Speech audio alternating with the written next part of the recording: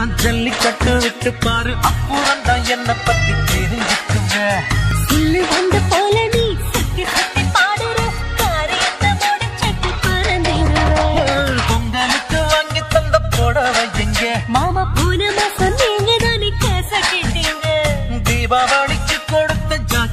எங்க?